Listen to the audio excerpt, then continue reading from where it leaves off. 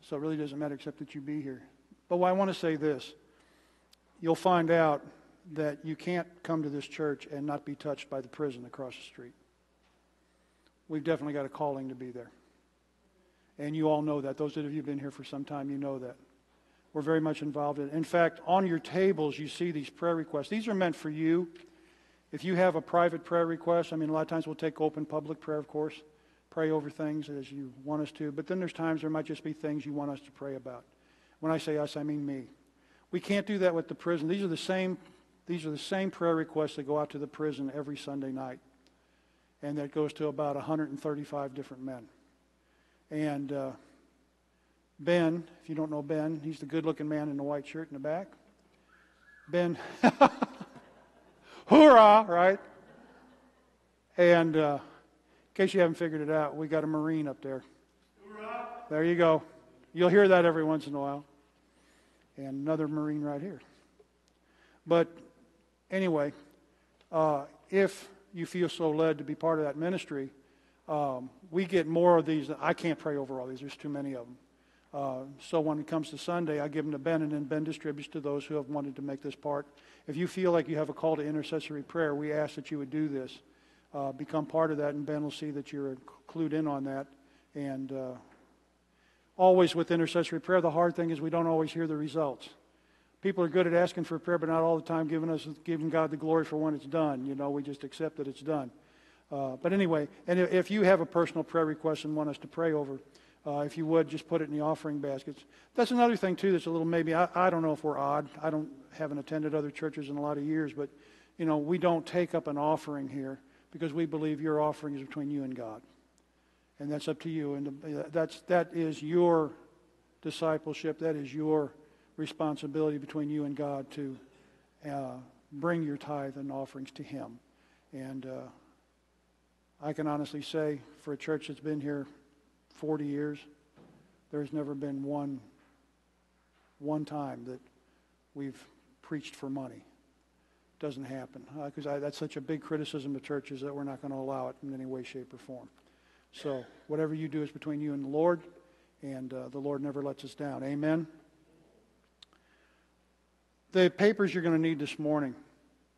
We're going to conclude where we were in uh, the one that begins at the top. But I trust the Lord Jesus to send Timothy to you shortly.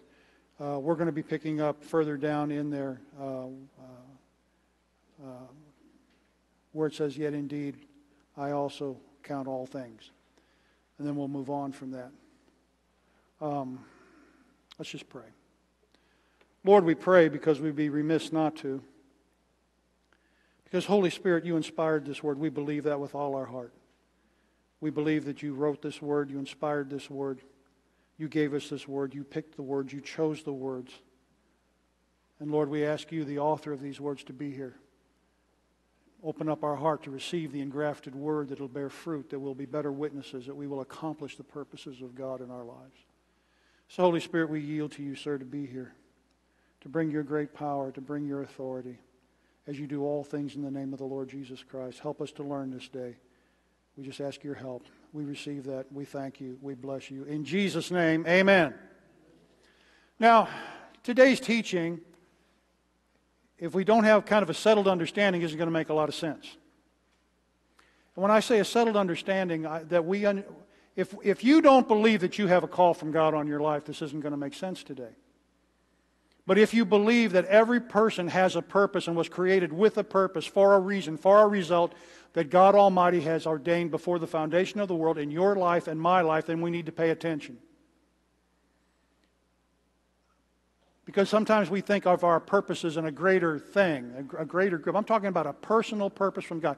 Because when it comes down to it, when it comes down to it, we're not going to be graded as a church. We're going to be graded as individuals as we sit in the judgment seat of Christ, which is not a, a judgment of salvation, but is a judgment of what we have done in this body with the gifts He has given us for His glory.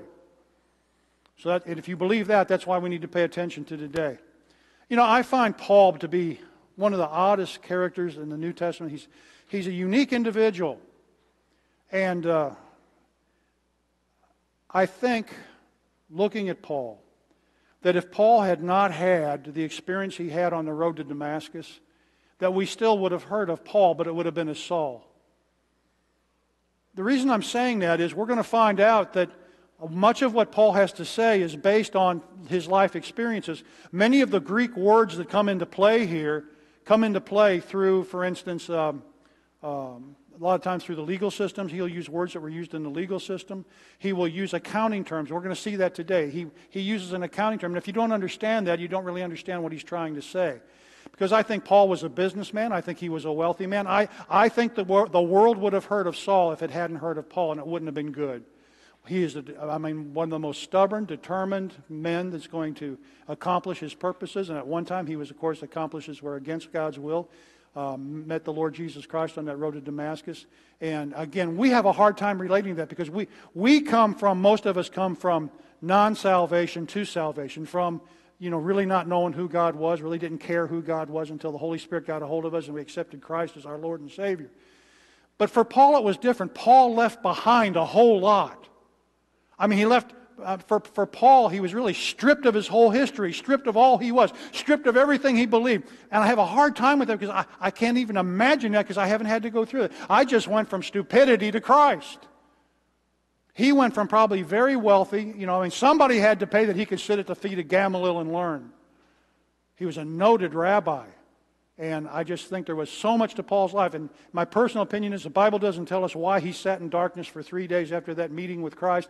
But I think it took three days in the dark just for him to recoup a little bit and get his senses back when you find out that everything, single thing that you believed is wrong.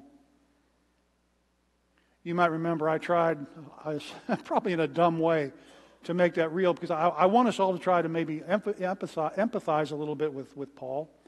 And if you'll remember, I came in and I, I announced to you that it was, a, it was an, announced on the radio and on television this week, in case you had missed it, that they had found the tomb of Jesus Christ and his skeleton was there. They found the bones of Christ. And uh, some of you are about ready to pick up, pack up, and walk out of here, which is exactly what you should do if I ever preach that. But I was just trying to make it real because I didn't smile. I tried to make it real because that, it, would, it, it would be something like that if you understood that everything that you believe about Christ is wrong you'd have an understanding of what Paul was going through. And in Paul's case, it was wrong. And so it's kind of hard to understand this man who's been stripped of everything uh, to be the man that he is. So we're going to talk about this a little bit today. We're going to pick up where it says, and you have to excuse me, I have so many notes written over my notes. It's hard for me even to see which one I'm looking at. We're looking at Philippians 3 8 and 9, almost to the bottom of your first page. Paul writes this He says, Yet indeed I also count all things loss for the excellence of the knowledge of Jesus Christ my Lord, for whom I have suffered the loss of all things and count them as rubbish, that I may gain Christ and be found in him, not having my own righteousness, which is from the law, but that which is through faith in Christ the righteousness which is from God by faith. Notice he says, indeed. Very strong word in the Greek, very strong word of, of uh, uh, uh, a strong uh, word of uh, intent. He says, I indeed, I, without a doubt, without any doubt at all, I also count all things. That, that word isn't just considering all things. That word count, counting all things is, is a term uh, that was used in, in the world of bookkeeping and uh, business. In fact, actually, the word in the Greek means he took an inventory. That's going to become very important today. He took an inventory. He said, and in that inventory, he said, I have put all things in the lost column. He's, he's talking again almost like an accountant. In accounting, you either have profit or you have loss. And he has moved every, he's saying everything that he had, everything that he knew, everything that he had studied for, everything that he'd lived his life for, he counted all things lost. He put it in the lost column. For what? Because he found out the, the one thing he wanted more than anything else is the knowledge of Jesus Christ, my Lord. You look at that and you think, my goodness, how he went from hating the church, killing members of the church, holding the robes of those men that stoned Stephen to death in the early times. He says, I indeed count all things lost for the excellence of the knowledge of Jesus Christ my Lord, for whom I have suffered the loss of all things, and yet I count them rubbish that I may be rub. That word rubbish has two different meanings in the Greek. It means uh, dung, if you will, and it also means uh, filthy, uh, filth from a dog. So it's, it's a very hard word, and he, says, he says, I count them all rubbish. You know, we didn't have, uh, at least in my life, I didn't have anything really to count rubbish because I wasn't really believing in anything I, until I believed in Christ.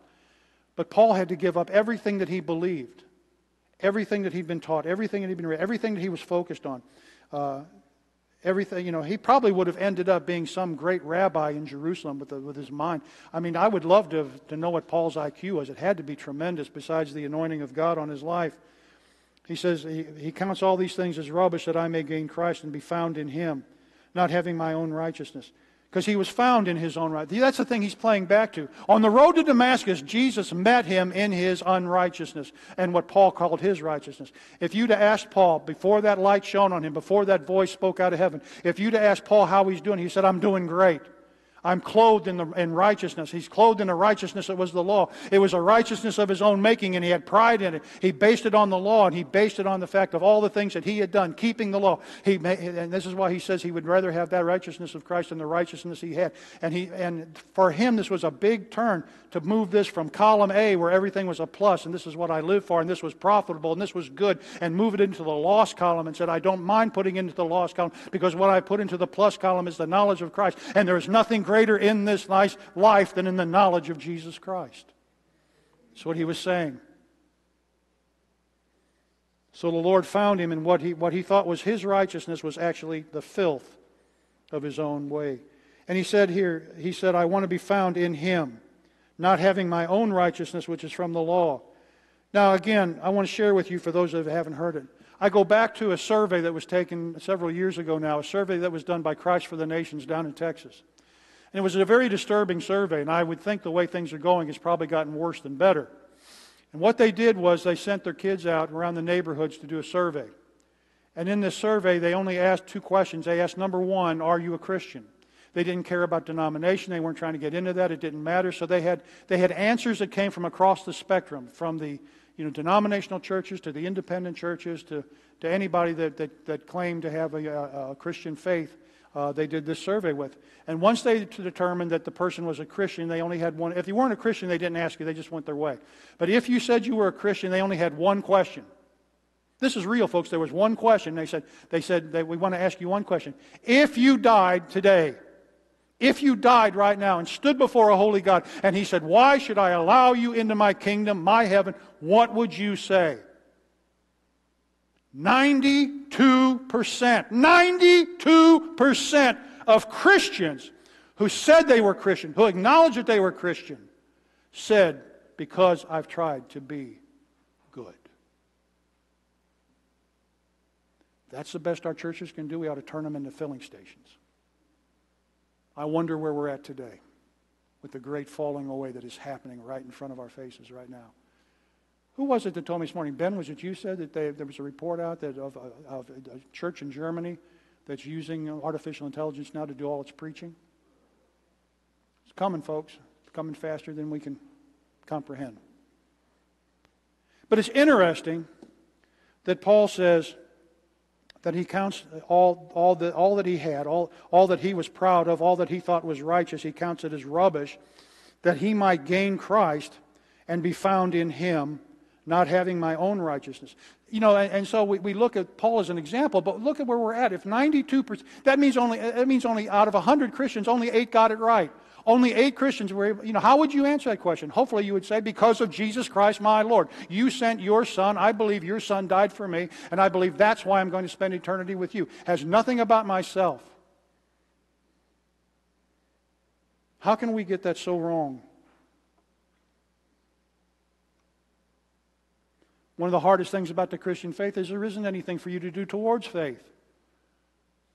Religion is always something for you to do but it's never Christ plus anything. He says, I count them all as rubbish that I may gain Christ and be found in him, not having my own righteousness, which is exactly what these, when, you say that I'm going to go to heaven because I've tried to be good, And they weren't being smug about it. They weren't thinking that they were great people. They just, just the thought was, well, I haven't killed anybody. Well, I haven't stolen from anybody. Or, you know, I know this person over there claims to be a Christian and I'm much better than they are. So I think I'm, you know, I'm okay. I, I've tried to be good and so I'll get into heaven. That is your own righteousness that comes from the law. The law being the ability, your, your ability to think that you can keep the righteousness of God. He says, But that which is through faith in Christ, the right, he, I want to be found in the righteousness that is in Christ, the righteousness which is from God by faith. Notice here, I want you to make a note there in your Bibles or, or on your papers, if you will, that righteousness is not something that God demands. Righteousness is not something God demands. Righteousness is a gift of God. He doesn't demand you to be righteous per se, He provides the righteousness that we can have. This is where, you know, people, again, this, this idea that, that we manufacture our righteousness. You know, we accept it because Christ has done it for us as a free gift of grace into our lives. And as I said before, how do, how do we know? How do we know that the Father wants everyone to be saved? Because, again, it's because, you know, uh, let, let me talk about another issue that's popping up in the churches. It just popped up in Troy down the road here a couple months ago that there are churches, even mainline churches, that are preaching the um, predestination. Predestination in the sense uh, of, of, almost pure uh, Calvinism, that God determines who's going to be uh, saved and who's not. And I have a real problem with that because it wipes out so many other scriptures. And doing a close study of the Word and a close study of Romans, you find out that the, you know, we talk about the sovereignty of God, and God is absolutely sovereign. God has His right to have His will and to do it His way. Can I get an amen on that? But what is His way? How do we know? How do we know what God's way is? What did He choose? He doesn't choose people, but He chose the plan of salvation. He chose that it would be by faith in His Son. That's what God predetermined. And He will not be moved off of that because He cannot be moved off of that. And again, I want to just encourage you as part of your witness when people want to say to you that you Christians are narrow minded and you're unloving. You always teach that the only way to God is through Christ. And I believe there's all kinds of ways. God's a big God and there's all kinds of ways to reach Him. But even that in your thought is wrong because what you're missing is the whole purpose and the meaning of salvation. Salvation comes to the Christian because of the grace of God coming into our lives. But you got to get past it. What, what does it mean? What, what happened out of that? What happened out of that is we got a new nature. The, the problem is not sin itself, it's the problem is the sin nature that causes the sin. And the, and the, and the only, Christianity is the only uh, religion in the world that offers the answer to that, which is a changed nature through Jesus Christ. So when we say that when we say to people that the only way to Christ, the only way to God is through Jesus Christ, He's the way, the truth, and the life. No man comes to the Father but by Him. We're not being narrow-minded. We're just telling you that if you understand the science of salvation, the process of salvation, without Christ it cannot happen because without Christ there's no new nature. And if there's no new nature, there's no Christianity, there's nobody saved, and nobody's going to heaven. So thank God in Christ we get a new nature. We get to start over. That is one of the most pleasant things you can preach across the street is you don't have to live in that past. You can be a whole new person in Christ Jesus. Oh, somebody say amen. This is what it's all about. Paul goes on to say in Philippians 3:10 he says that I might know him and the power of his resurrection and the fellowship of his sufferings being conformed to his death if by any means I may attain to the resurrection of the dead. He says that I may know Christ that I may know him, that I may know the power of his resurrection, that I may know and being conformed to his death. To know him. Righteousness, again, is a gift from God, but it's, a, it's, it's, the, it's the launching pad into relationship with God. It's another thing that you want to stress so much is that God wants that personal relationship with us you know, again, once in a while I get, all, all I want to do in, is preach the gospel. I want to preach the Word of God. And when you preach the Word of God, sometimes people think you're anti this or anti that, but you're not. You're just pro Bible. And uh, to understand that salvation is all of God and not anything that we do of ourselves and that Paul wants to know him and the power of his resurrection and the fellowship of his sufferings. In other words, it's like Paul wants the whole thing. You know, he gives himself as hard to Christ as he gave himself to the law. Christ is now the focus of his life. And, and Paul, being the man that he is, the go getter that he is, the, the determined man that he is, wants everything. He wants to know, he wants to know him. He wants to know the power of his resurrection. He wants, he wants to, you know, should, we should all have that drive that he has. Paul is saying, whatever Christ has to offer, I want to walk in. And I don't want to come short in anything. I want to fulfill all of it. I want to know all of it. I want to walk in all of it. I want to be able to teach all of it. I want to be part of all of it. I want to know his sufferings. I want to know him. I want to know, I want to be conformed to his death.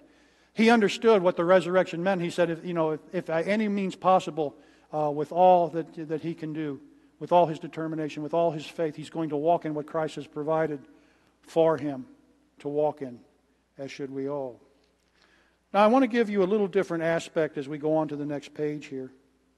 As we look at Philippians 3:12, I want to give you a little different aspect of this than maybe you've heard before.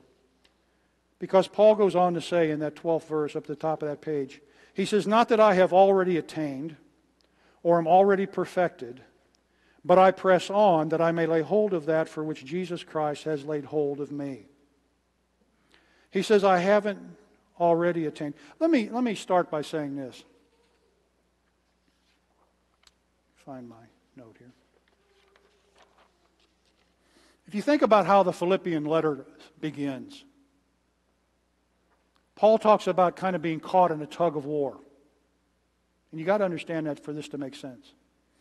He says, It's better off to leave here and be with the Lord. He said, That's far better. But then he also had the pull of working with people still and trying to bring fruit into their lives, trying to take them deeper into Christ. But you look at Paul by this time of his life, he's a prisoner. He's in Rome, he's in chains. Not all his time was spent in chains, but a lot of his time was, sometimes chained to a Roman guard.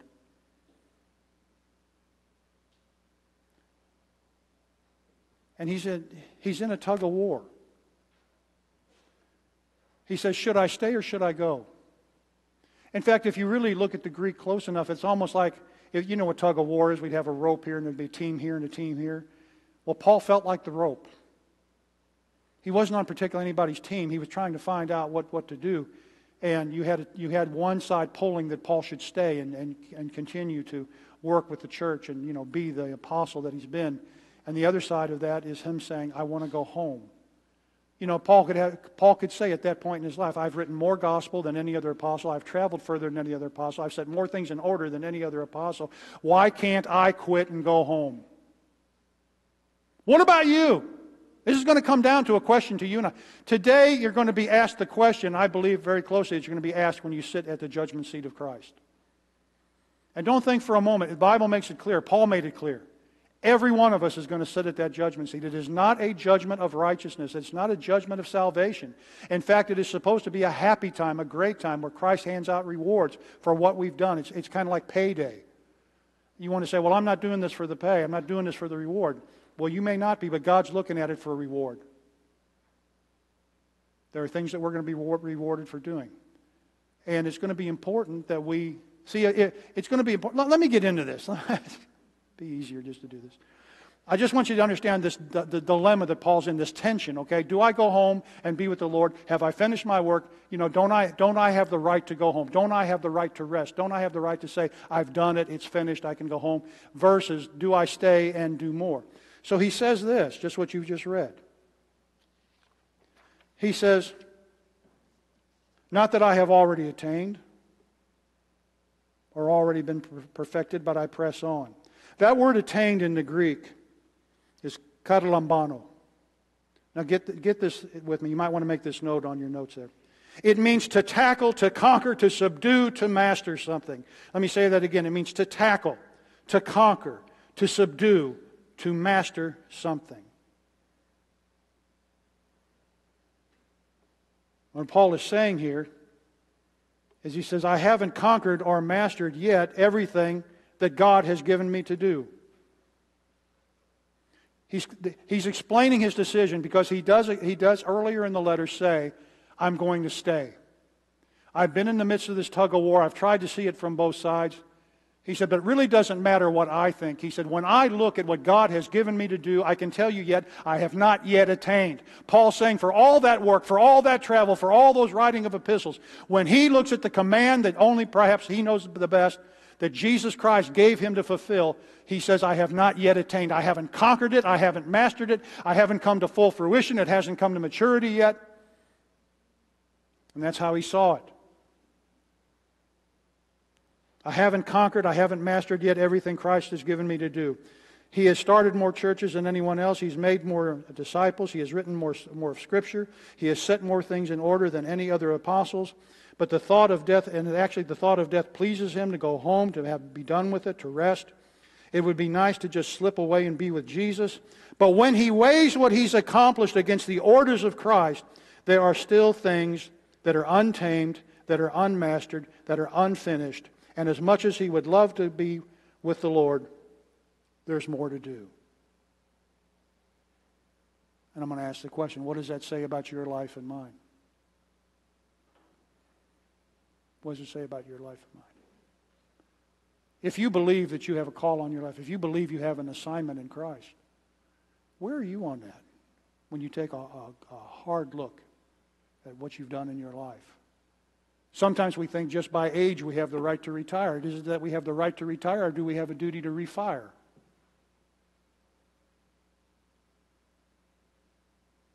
What's our attitude? Do we think age gives us an out? Can you look, uh, and only you can answer this. Only you can look at your life. Only, only, I know I haven't accomplished everything the Lord wants me to do. That's not bragging on me. I'm bragging on Him that He's got things for me to do and I'm going to answer for it. And I don't want to say I quit early. I don't, you know.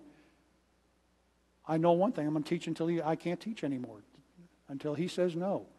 But until he says no, we got to say yes. So do you, understand? You know, I think people were look, always looked at these verses as kind of a, a judgment on their character. And I have not yet attained, but I keep pushing on, you know, to be deeper into Christ and everything. Paul's talking about his responsibility here he uses again these terms of an accountant. He says, I've, I, have i I've inventoried this. In fact, let's, let's read down here. He says, Paul, Paul, um, Paul adds, I'm not perfected yet. It is the word teleos, complete, mature. Paul is saying, I have not yet brought my assignment to the place of maturity. I've done a lot, but I'm not there yet. There's more to do. In light of his consideration, he says, But I press on. Some tra- translators say, I follow after. That Greek word where he says here, he says, uh, but I press on. Not that I am already perfected, not that I'm already complete, not that I have yet attained, not that I have yet conquered what he's given me to do fully, but I press on. That word press on is a hunting term. You might want to write that. Again, he, he uses terms, you know, used in the general lifespan or lifetimes of the people around there that they would relate to. When he used those words, person from that day and age would understand that Paul was talking about a hunting term here. This was, this was a term a hunter would use when he's, he's prepared himself. He's gotten you know, all his weapons together. He's gotten all his traps together. He's got all, all his bait together. And he's going to go out hunting, and he is not going to come back until he catches that which he's going out to do. If you've got that picture of the hunter that's on the trail, nothing's going to stop him. Nothing's going to take him off the trail. He's going to follow that animal until he finally bags that animal. You get the idea what the Greek word means here. Paul says, I'm going to pursue, and I'm going to pursue, and I'm going to pursue what God has me to do until I finally attain it, until I finally master master it till I finally conquer it. That was the way Paul was. That's the way Paul was in everything in life. Anything he set his hand to, he was going to master it, he was going to conquer it. Even if it meant, you know, could he have chosen to go home? Obviously, the Spirit was telling him, well, the door's open, Paul, if you want to come home. But then also working with him to look at what God had commanded him to do and saying that he has not yet completed everything that God had given him.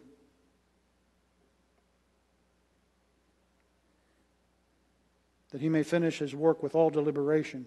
He will not stop until he has mastered, he has conquered, he has subdued the call of God on his life. He says that I may lay hold of that for which Christ Jesus has laid hold of me.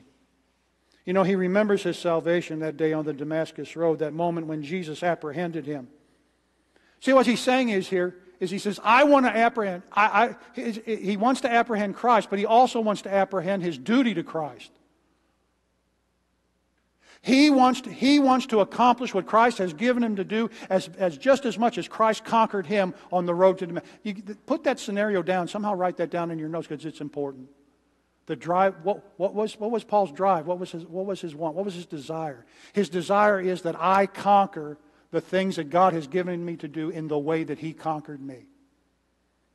And how did, God, how did Christ conquer him? Absolutely, totally, completely. That in a moment of time, he went from hating Jesus to calling him my Lord. That's being conquered.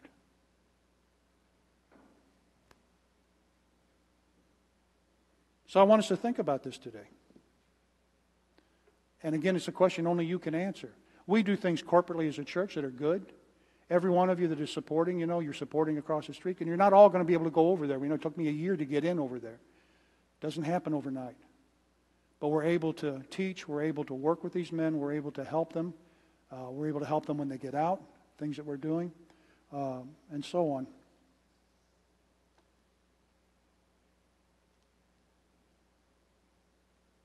But we do it together.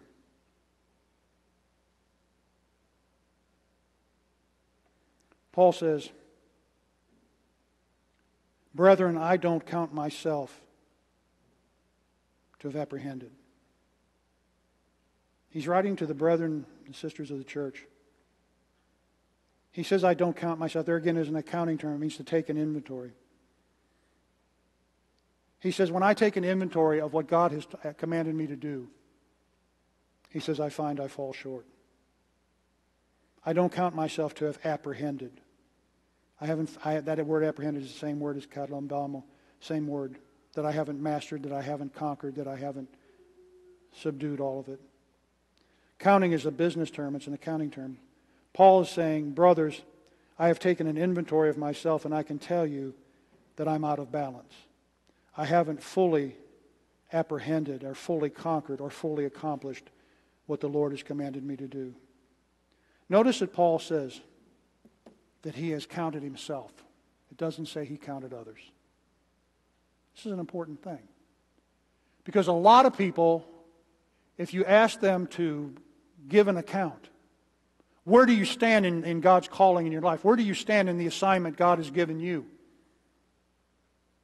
And a lot of times, what people do is they have a tendency to look at other people and judge themselves by the people. Well, I, I know I'm more righteous than that one, and I know I've done more, and this one over here doesn't lift a finger in the church, and I know I've done that, and, you know, I, I, so I'm doing much better. Paul says you don't count other people. Jesus, Jesus is not going to count other people and say, yeah, Skip, there, there were some people that were, weren't quite as good as you. Isn't going to happen. He's just going to say, Skip, what have you done? What have you done with the giftings and call that I have given you upon your life? Give an account for it. Did you finish it up? We see later uh, that uh, in writing to Timothy that Paul indeed did finish it up. He says, I've been poured out as a drink offering on the sacrifice of their faith. I love that. Would that that would be in every tombstone, every one of us. Jesus tarries and we get buried.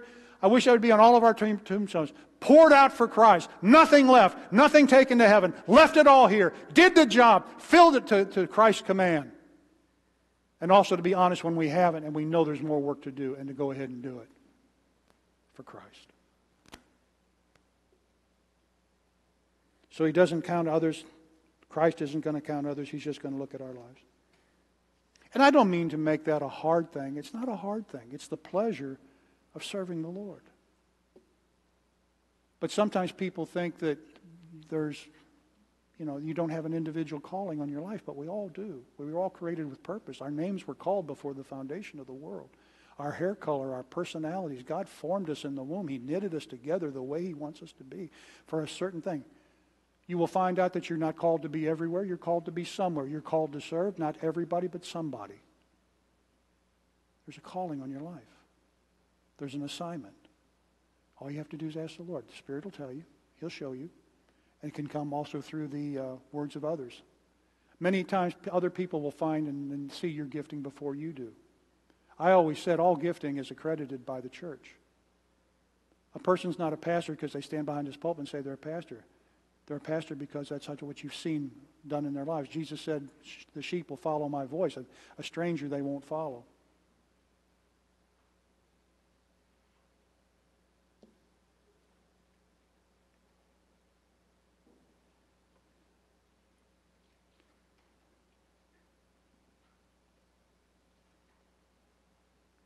Paul knows he has started again more churches, wrote more epistles, traveled far, farther than others been through more stuff, probably has more pain, more, more scars to show.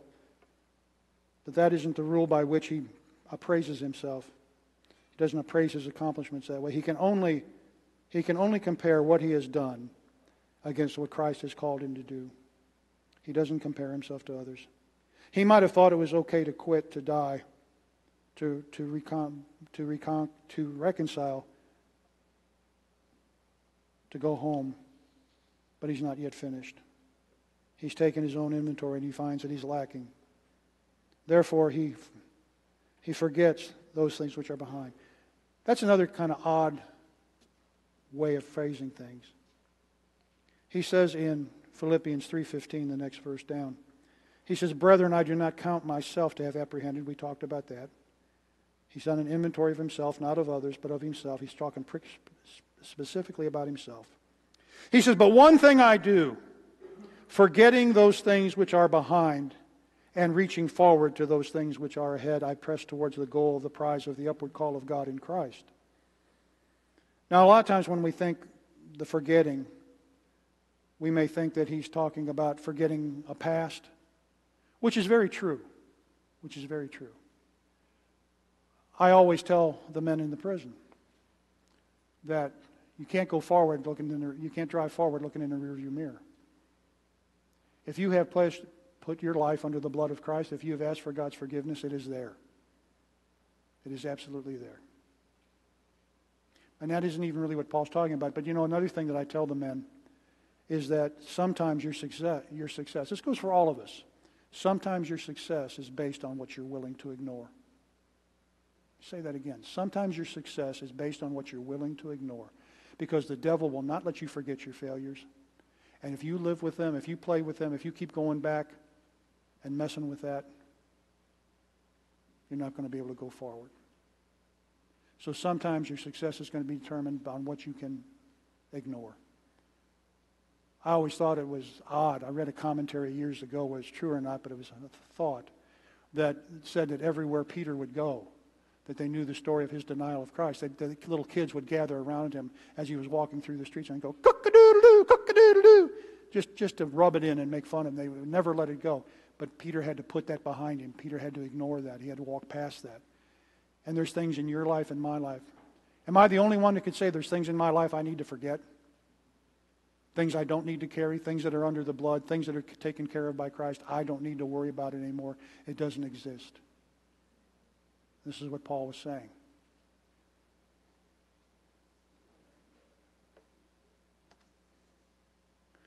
He says, I don't have my account of myself to apprehend, but one thing I do, I'm forgetting those things which are behind.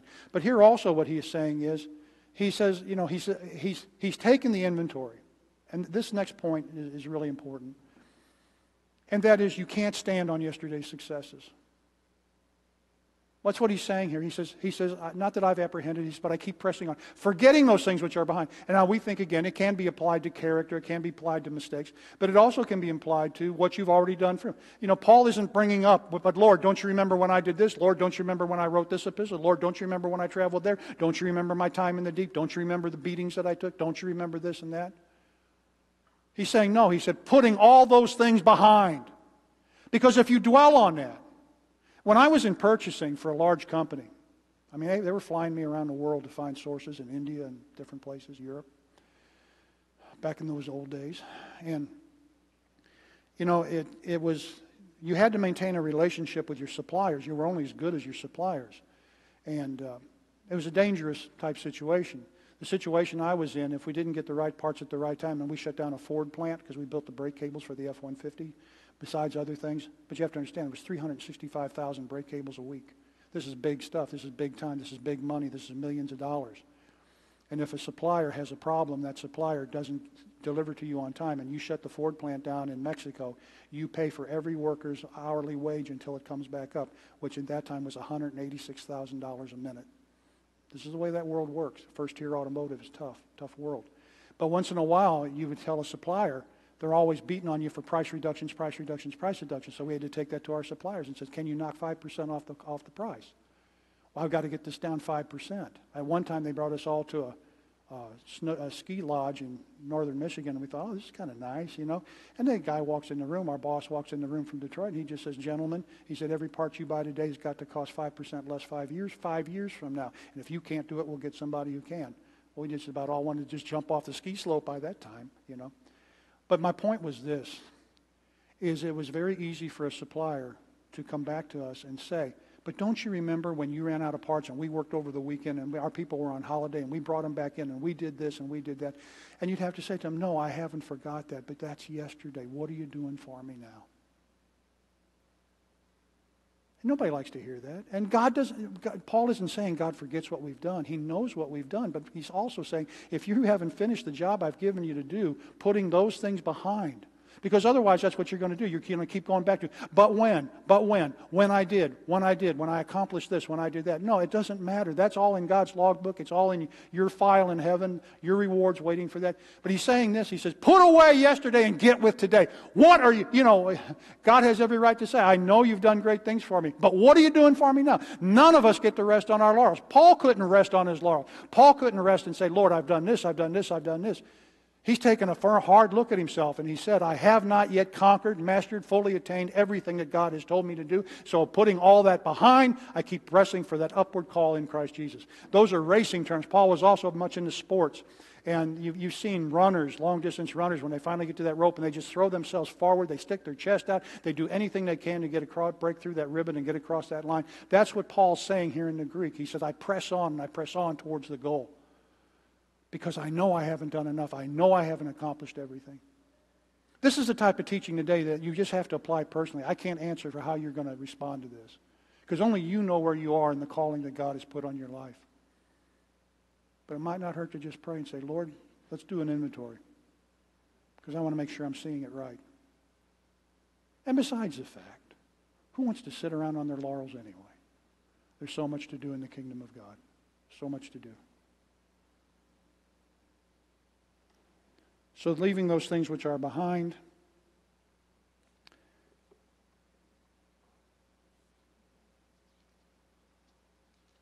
treating it as almost it doesn't exist anymore.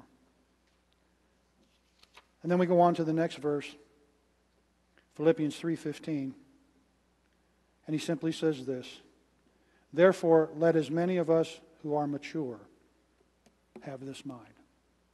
He's telling us his definition here of what a sound mind is. He's let all who are mature think this way. So if we want to count ourselves as mature in Christ, this is the way we need to think. Paul doesn't pull any punches, does he? He's not afraid to say, if, this, if you're mature, this is the way you're going to think. He says all mature Christians will think like this. They'll appraise themselves. They'll take an inventory. They'll take it before God, and they'll say, "What do we need to do? What do you, what do we, what do you want me to accomplish? What do you have for me?" Because I'm not telling you, you take your ideas to God. I've tried that, it doesn't work. You always heard the old expression, you want to hear God laugh, tell him you got a plan. It's very true. But what God looks for is those that have an open heart that just want to say, Lord, what have you commanded me to do? What do you have for me to do? And even if I've accomplished it, may if I've finished that, Lord, I'm still here. And while I'm still here, while I still draw breath, while I'm here, what can I do for you? He says, Let all of us who have a mature mind think this same way. Then he goes on to say, well, he takes it one step further in, in verse 317. He says, Brethren, join in following my example and, and note those who so walk. Take, pay attention to those who, who live the same way because you have them as a pattern. In other words, Paul says, not only are you going to have a mature mind to think this way, he says you're going to be maturity and that you act this way. And that we will set a pattern for the rest of the church. I don't know about you, but Paul set a pattern for me today. This is something to think about. We don't often talk about stopping long enough to take an inventory and say, Lord, where are we? Where are we with you? And you might say, but I'm not sure what I'm supposed to do. Well, a lot of us are in that boat. But the thing to do there is we just bring it to the Lord and say, Lord, you direct me. We're not bringing his, we, do, we don't want to bring him his ideas. You know, Jesus said he's going to build his church and the gates of hell are not going to prevail against it. I had to learn a long time ago, I can't build a church, only he can. And so he will set the ministries, he will, he will take care of those things, he will set the vision, and he'll bring us the resources to do it. So I'm going to end with that thought today. Do we all have a mature mind? Do we all have an idea here? I don't want this to be something we forget 10 minutes down the highway. I want, I want you to take this home tonight. I want you to take it to bed tonight. I want you to look at the ceiling tonight when you're in bed. And I want you to ask Him, Lord, where do we stand? If, if you inventoried me, Lord, where are we? Have I finished what you've given me to do? If I've not, show me, teach me, guide me, put it all together, create the, the sequences of life that will cause your purposes. Because remember, it's Him that says He'll cause you both to will and to do His good pleasure. But we're not going to give up. Amen? We got a lot to do. Father, we thank you. Thank you for your servant Paul that you raised up. Thank you, Holy Spirit, for the guidance and wisdom that you gave him that comes down through the ages to us. Lord, help us to know what our purpose is. Lord, help us to take an inventory of our lives, not of others, but of ourselves.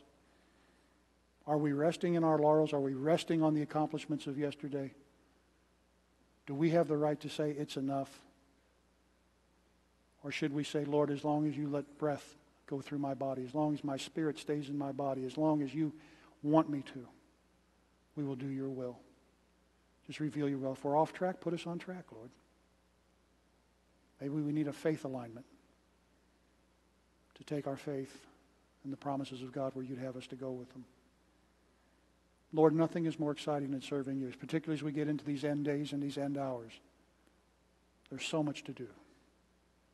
To be part of this generation, the most prophesied generation in history. Lord, help us to accomplish your will, to do your purposes, to love one another, to encourage one another. We can't run each other's race, but we can sure help each other get to the end line. We can encourage, we can scream for, we can help you, we can encourage you, we can love you, and expect the same in return as we love each other across the finish line of this life, that we may all stand before him and say that we have done well, Lord, that you can say that to us that we've been found faithful, that we have conquered, that we have mastered the purpose of our creation.